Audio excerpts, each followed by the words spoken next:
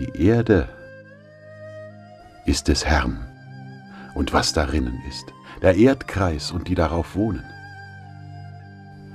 Denn er hat ihn über den Meeren gegründet und über den Wassern bereitet. Wer darf auf des Herrn Berg gehen? Und wer darf stehen an seiner heiligen Stätte? Wer unschuldige Hände hat und reines Herzens ist, wer nicht bedacht ist auf Lug und Trug und nicht falsche Eide schwört, der wird den Segen vom Herrn empfangen und Gerechtigkeit von dem Gott seines Heiles. Das ist das Geschlecht, das nach ihm fragt, das da sucht dein Antlitz, Gott Jakobs.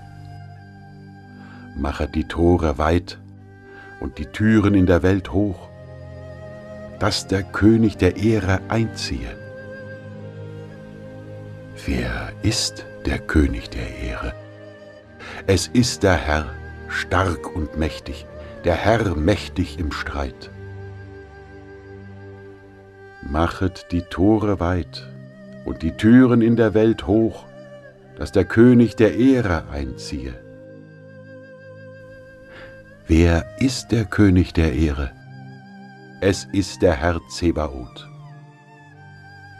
Er ist der König der Ehre.